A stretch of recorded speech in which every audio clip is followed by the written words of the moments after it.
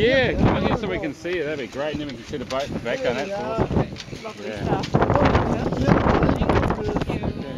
How's, how has the trip been? Uh, pretty good. Still like two days ago. It Got pretty rough, but nothing I'm not used to. What is it that's brought you back? Why New Zealand? I don't know. I just always felt attached to it. I really wanted to go back since I was really young, and then I didn't really like it. So what's your plan here now? Um, well, I'm gonna go to two summers in where I'm born, and then um, go out to New York for a month, do some uh, presentations, try to get some work, and then I'll come back here and try to build up a life. How, are you going to stay here permanently? That? That's the plan. And how, who have you got anybody to stay here with, or where will you go tonight? Um, I'm going over to Tambasin, which is pretty much where I'll be staying next time. Do you have family and friends here? Um, You're all on your own. yeah. Well, I do have a couple of friends just in Whangarei, like not New Zealand, but, um, and some people that my parents knew and that I knew, but I, I don't know how it works. Well, you would have thought that if you sailed around the world on your own, you would have had enough of boats. Why did you come on down here? I don't have enough boats. I still love it, and um, New Zealand is a great sailing country, so um, yeah, I guess it's a good place for me. What are you trying to find here? I'm not really trying to find anything. Just looking out for me if I can come here, which I already do. So, um, yeah. We'll see. And, and what about your, your family that you've left behind? What do they think?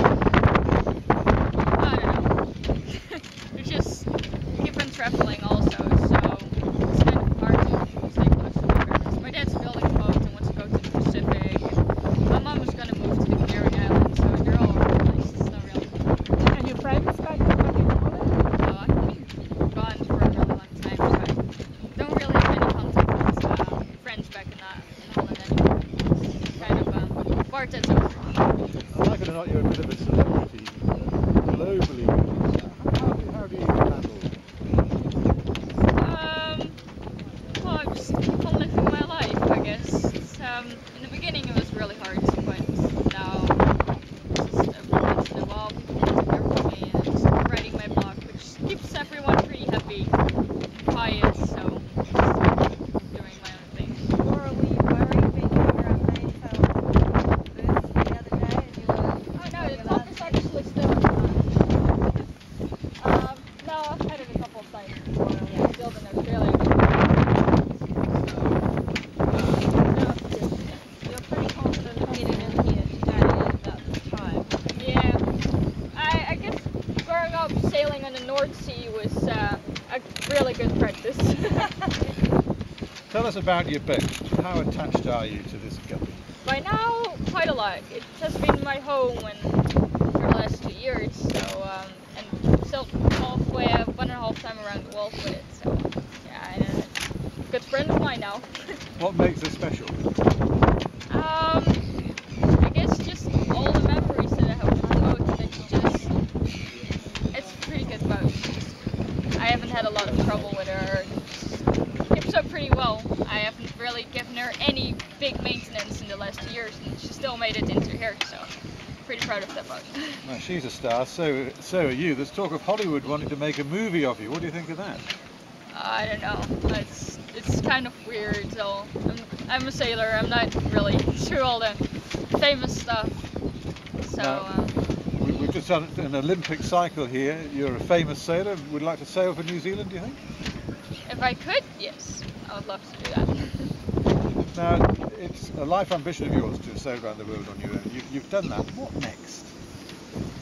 I don't know, there are a lot of things that I could do next, but um, at this point I'm not entirely sure. I, I'll see what I'm, will roll into. Maybe I will go back into racing, uh, maybe we'll find some other great voyages to do, so uh, I'll see.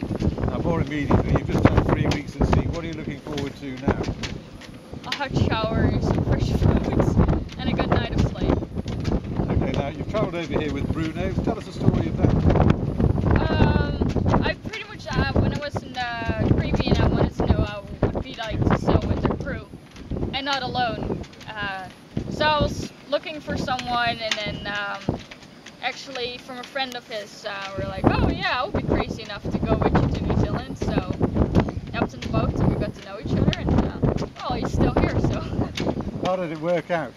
oh, he didn't pick up a lot about sailing, which really surprises me, being four months on the boat. But um, it's really good company, and it's actually nice to sail its crew. Just having an extra hand if you want to, uh, someone to talk to. Now, he said he learned very little about sailing, but maybe he was teaching you the guitar. How are, you, how, how are your lessons coming on? I got a lot better. yes, that's good. So um, yeah, worked out well. Okay, we wish you well. Welcome home. Thank you. Thanks, Laura. Hey Laura, how are you? I'm Steve from Yacht Yakka. Okay. This is my friend Edwin Delaat. Hi. We picked up on, I've been following you since the first court case and I've got a lot of information about you on my website, Yacht Yakka. Okay. And one of the things that you said in your blog is that you want to settle here and do some dinghy racing and get into, you know, life Yeah. life in New Zealand. About the Royal New Zealand Yacht Squadron, all right? They got they got a few trophies on their cabinets. The America's Cup, the Volvo Ocean Race, you know, a few other bits and pieces. Come on. Thanks. Yeah, we, we've been following you here for a long, long time, and uh, it's great to finally see you parked up it's in Marsden Cove. Yeah. Yeah, and tell us, there's a bit of your mainsail up there. What yeah, happened? I don't know. I. I Old don't know. age? No, not at all. I, I just renewed that sail in the Caribbean actually. It Yeah? Just, Just- I, just I ripped. just broke. Yeah, so Yeah. um, just one of those things, eh? oh, it kind of looks like that all the like newer sails just get worse and worse. So um, this is like the oldest sail that I put it up now. And, uh, Oh, so this is another, this is a second, a second main. Yeah, so- like three spares. Oh, okay, okay. Oh, that's great. Just in case, you know, and I ripped two already, so um, Yeah. yeah, it's pretty good. Yeah, I'd just like to say the, the way that you did your trip around the world and stopping off and exploring and getting to know the, the, the ports that you went to, fabulous, fantastic. Pick your time to leave and, um, you know, great, great, great achievement. Thanks. Sorry, mate. I like the Jolly Roger up there. The Jolly Roger, yeah. Yeah, if, if, if you fly that into America, they can still shoot you, eh? Yes, and also Japan and uh, anything they like yeah. there. In, in New Zealand, mate, we welcome it. Yes.